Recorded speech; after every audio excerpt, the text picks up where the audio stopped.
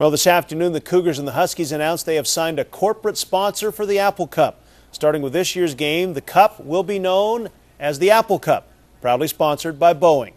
Welcome to the changing times. The Cougars will look for win number one of this season, playing a home game in Seattle. Cougs playing their annual game at Qwest Field this weekend as they play host to San Diego State. And while the schedule says it's a home game, it doesn't really have that feel. It never feels like home over there. You're too close to Husky Stadium to feel like home. You still got to travel. You still got to do all that stuff for traveling. So I, I, don't think it's a home game for us, but I just I know there's more people over there cheer us on.